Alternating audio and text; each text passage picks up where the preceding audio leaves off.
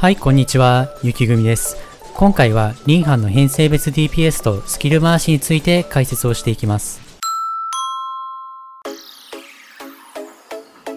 サボテンダメージでは旧編成と比較して30%の DPS 上昇を記録できました。メタとなる編成はイカロス編成、フィアノ編成。DPS ショーケース動画と比較してスキル回しを改善したことにより若干スコアを伸ばすことができました。詳しくはスキル回しの章で解説をします。スキル回しにエナジーの補助が必要な関係でトレンドホースを使ったフィオナ、もしくは両陣の玉蘭が編成に必要になってきます。最後の1枠にリンやジークを使った編成は最適編成の9割ほど、フレイやクローディアを使った編成はそれよりさらにスコアが落ちるといった結果でした。ふわ先でスキルリセットを連発するタイプもスコアはかなり悪かったです。こちらはサボテンダメージの実測値をもとに、リンハンボリションとそれ以外のボリションを入れ替えた際にどのぐらいのパフォーマンスに差になるかをグラフにして可視化したものになります。こちらもスキル回しの改善により DPS ショーケース動画と比較してセミール系列のスコアを伸ばすことができました。玉蘭、リンハンボリションはほぼ同じスコアという結果でした。こちらがサボテンダメージの実測値になります。一時停止して引く予定のボリションや手持ちの編成などと比較してみてください。イカロス編成ではセミール系列はかなりスコアが落ちる結果となりました。妥協編成としてはリンやフィオナを使っていくのが良いと思います。こちらがサボテンダメージの実測値になります。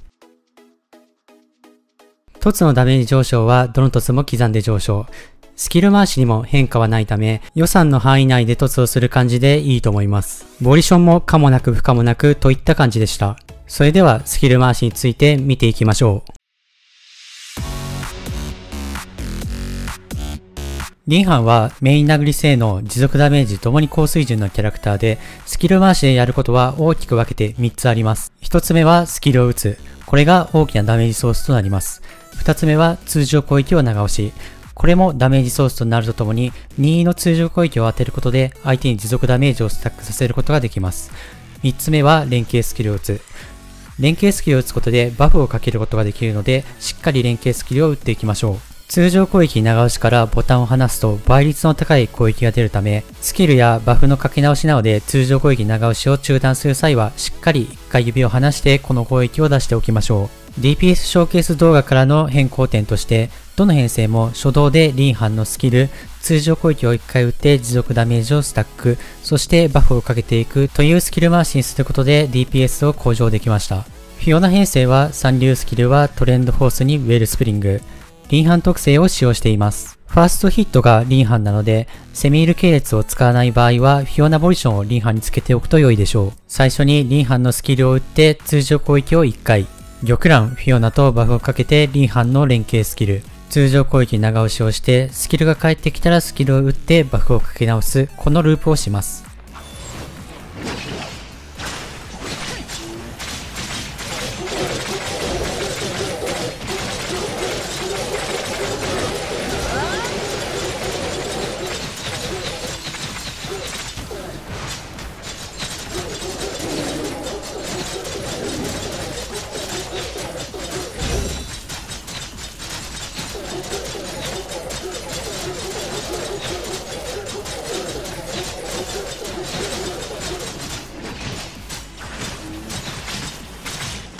イカロス編成でもリンハン特性を使用します。スキルループはイカロスで連携キャンセルをしてバックプルーを2回打ったらリンハンの特性の効果によりエナジーが溜まるので玉弾で連携とスキル。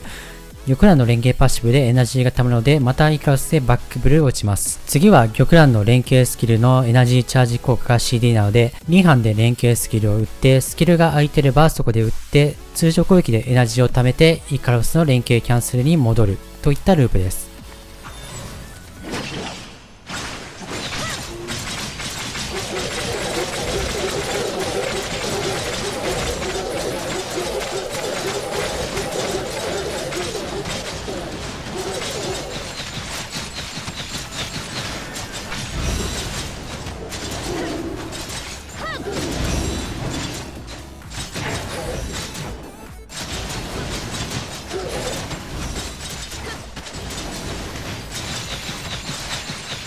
各編成のサボテン動画とアリシーのゲームプレイは DPS ショーケースにまとめてありますのでそちらも合わせてご覧ください。概要欄にリンクを貼っておきます。それでは総評を述べておきます。リンハンはスキル回しも扱いやすく、アタッカーとしても裏ダメージキャラとしても優秀なので、氷編成では今後も長く使っていけそうなキャラクターだと感じました。ただし、この後は異能キャラクターのガチャが控えているはずなので、それも踏まえてガチャ計画を立てていきましょう。今後もテストサーバーで新キャラクターの動画やライブ配信も行っていきますので、ぜひチャンネル登録、高評価をしていただければ励みになりますので、よろしくお願いいたします。それではまた次の動画でお会いしましょう。バイバイ。